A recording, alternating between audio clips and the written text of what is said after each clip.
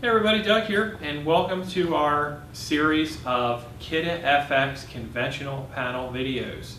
In today's video, I'd like to give you a few tips that will ensure that you're going to have a successful installation of the Kidde FX5 conventional fire alarm panel.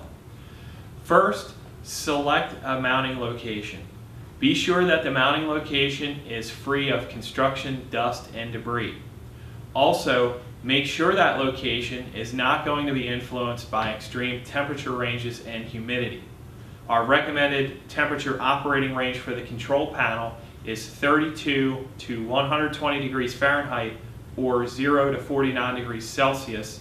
The humidity should be 5 to 93% non-condensing at 90 degrees Fahrenheit or 32 degrees Celsius. Once you have a location selected, please refer to your local and national codes to ensure that the cabinet is going to be mounted at the correct height and an acceptable location.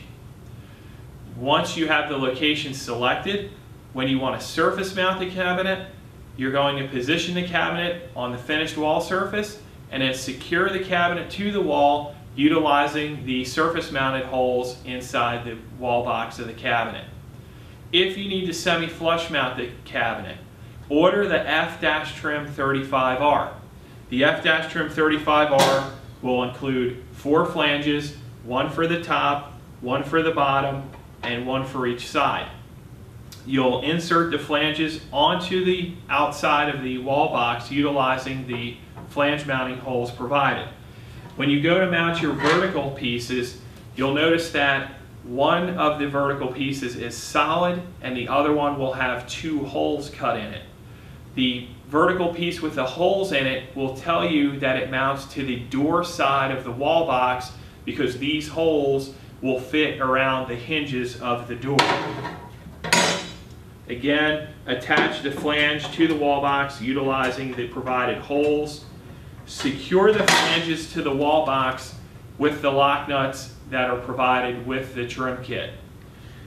When you go to permanently secure the control panel into the wall, reinforce that wall with 2x4s or some other type of material that is going to be able to support the weight of the control panel and the backup batteries.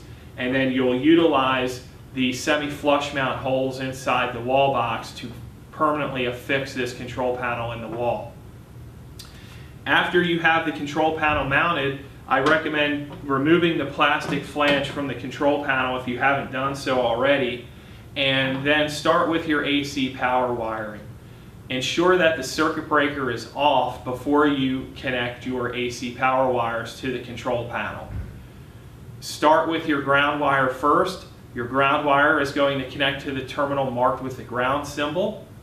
Second, connect your neutral wire to the terminal marked with the letter N. And lastly, connect your hot wire to the terminal marked with the letter L. When you go to connect your field wiring to the control panel, we recommend that you meter that wiring for opens, shorts, and grounds prior to connecting it to the panel itself. That way you can avoid running the risk of potentially damaging the control panel. I'd also like to point out that all of the wiring is power limited except for your AC and your backup battery wires. Maintain quarter inch spacing between the power limited and non-power limited wiring at all times. The non-power limited wiring should be kept in the unshaded area and the power limited wiring should be kept in the shaded area of the wall box.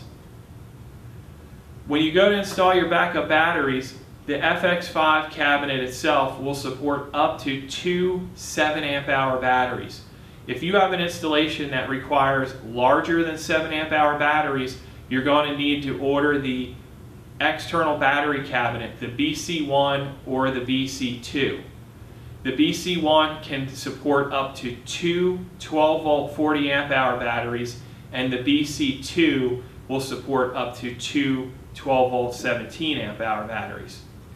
That wraps up our installation video. If you'd like some more information, please return to our website, kidde-fire.com or select the link below and you'll return to our YouTube site where you can view some additional product videos.